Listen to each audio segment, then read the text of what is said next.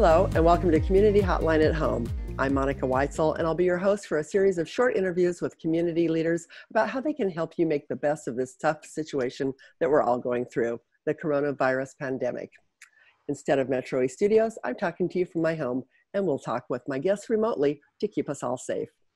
Today, I'm talking with neighborhood leader Carol Rulla. Thanks for joining me, Carol. Hi, Monica. Glad to be here.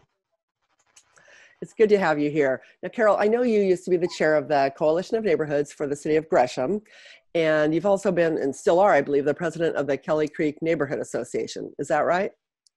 Well, I'm still the president of the Coalition of Gresham Neighborhood Association, oh. and I'm actually, I do land use on the board of the Kelly Creek Neighborhood Association, okay. but I do a lot of work on, uh, as a lead on nextdoor.com as well. Okay, well, I want to talk about that too.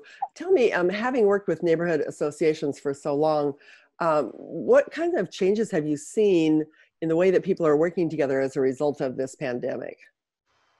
Well, I'm certainly seeing people really stepping up to help each other, to reach out, uh, to offer things. Um, people are a lot less argumentative. They all feel like we're in this together, which is a really great thing that we have, you know, going as a neighborhood because that's what's going to get us to get, you know, through this together. I think you're probably right because uh, this is really tough for everybody, and the social distancing has been very difficult for people to to not be in touch with each other and not see each other and congregate. So uh, there are other ways for people to get together. What what have you seen as far as people trying to connect with each other? Well, I think people are, you know, calling people, you know, each other more, checking in on neighbors, uh, neighbors who are older and really shouldn't be out. Uh, other neighbors are going to the grocery store for them, carefully leaving those supplies in a location where they're not, you know, contaminating each other. Um, and and people are also uh, you know using zoom a lot.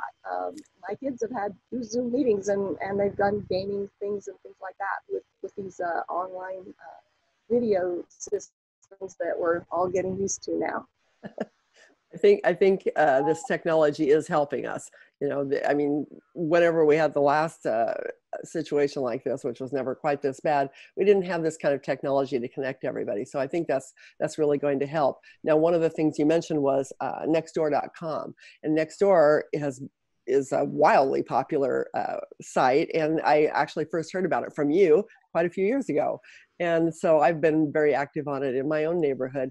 There, there's it's a great way for neighbors to connect with each other, and now there is something called the Help Map. Can you tell us a little bit about that? Sure, we had a lot of people uh, volunteering, you know, posting to Nextdoor saying, you know, I'm a person who uh, has, you know, low health uh, vulnerability, and so I'm willing to go out and do things for people, or I'm glad to be a person to, to call people who need um, a check in.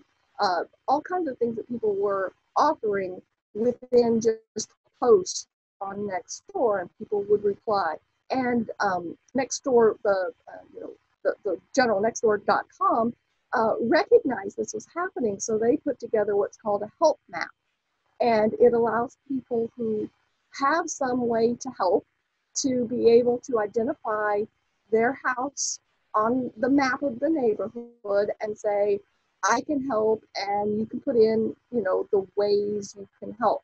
People who need help don't get identified. They deliberately did that so that people would um, not reveal, you know, that they were vulnerable, perhaps for privacy. So it allows a person needing help to go there and look for help, or say somebody knows somebody needs help and they're in communication with them. They can look at the map and say, "Hey, you have someone really close to you who might be able to help," and and help connect people um, because that, you know, what it's all about is is uh, working together as neighbors.